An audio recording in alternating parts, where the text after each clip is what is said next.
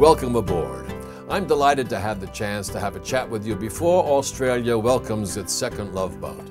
Princess Cruises' spectacular Dawn Princess will sail into Sydney on October 26th and will circumnavigate the country for four weeks on her romance tour before returning for a spectacular event in Sydney Harbour on November 23rd. Dawn Princess will be based in Australia permanently alongside her twin sister, Sun Princess, and we are expecting you all on board.